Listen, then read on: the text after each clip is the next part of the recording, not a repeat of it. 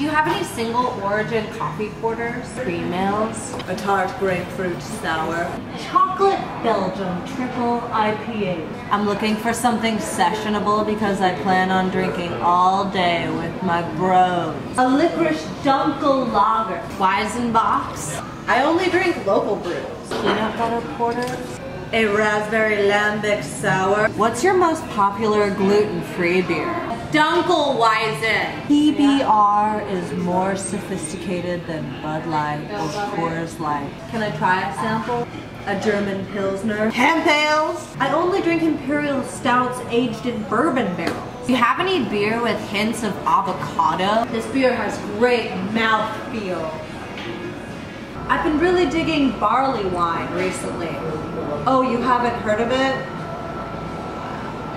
I live in the old PBR building in downtown LA. Dark fruited Dunkelweizen. This is alright, but I'm looking for a caramel flavored Doppelbock. Oatmeal stouts.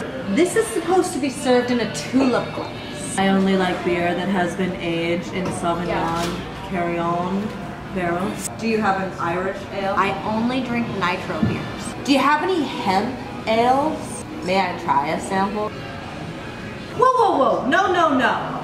I'd like a room temperature glass. Beer tastes better that way. That's how Europeans have been doing it for centuries. Mouthfeel. IPA.